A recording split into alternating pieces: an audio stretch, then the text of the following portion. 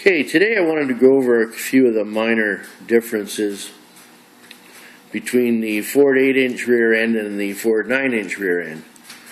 Both look very similar. One's a little bit bigger. The 9 inch is a little bigger. If you notice on the 8 inch rear end, there's a flat spot in the in the housing right there. And the 9 inch is almost perfectly round the, the pumpkin in that. It also has an extra rib in, in the structure there, and the 8 inch does not have that. Um, aside from being a little bit beefier, the 8 inch, the 9 inch also has the back plate is also round and on the 8 inch, it also has the flat spot on top and bottom. So it's kind of an oblong shape on this side. Now, a surefire way to make sure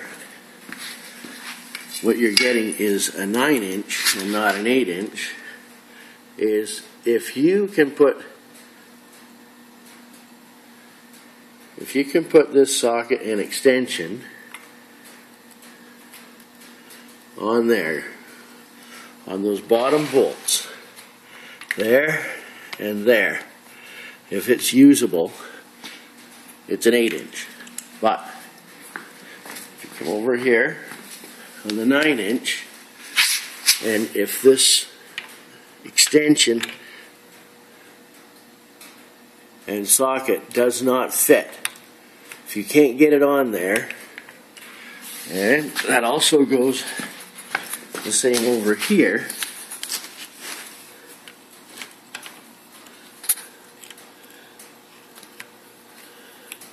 See, it won't work. You can't get it on there. Doesn't work. This is a 9 inch.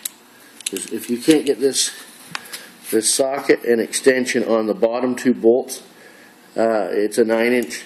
If you can get it on there, it's an 8 inch. Anyways, those are the most obvious differences. And once you have them side by side, it makes it even easier to see.